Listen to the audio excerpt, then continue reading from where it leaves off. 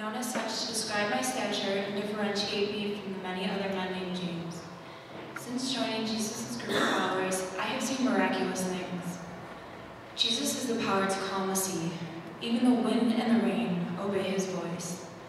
Jesus has power over demons. He has cast out evil spirits and has given us power to do the same in his name. Jesus also has the power to heal. He has taken away diseases people have suffered with for many from birth. Beyond this, Jesus has the power to forgive sins. Now, one of these men sitting at this table, one who eats and drinks with him, will betray him.